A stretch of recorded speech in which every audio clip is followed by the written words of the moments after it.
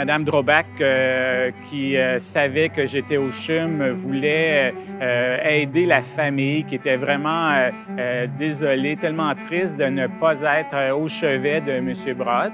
Donc, je, n'ai pas fait du tout partie de son équipe médicale, mais vraiment de son équipe morale, de support moral. Je voulais qu'il soit fier du CHUM, qu'il soit content des soins qu'il a reçus. Sa fille m'a demandé d'amener une, valise que j'ai déballée avec M. Brott. Et il y avait aussi, évidemment, un objet précieux pour euh, M. Brott. C'était un lecteur CD avec une collection de CD. Je crois que ça faisait partie de tout ce qui a aidé monsieur à, récupérer de sa maladie et euh, redevenir l'homme qu'il était.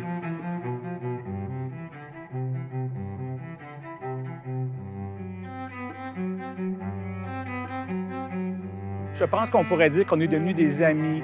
Euh, j'ai mes petites questions pour la musique, puis euh, je me considère privilégié de le connaître. Et je me dis qu'un jour, euh, pour le plaisir, on fera un petit duo ensemble et il prendra soin de moi aussi.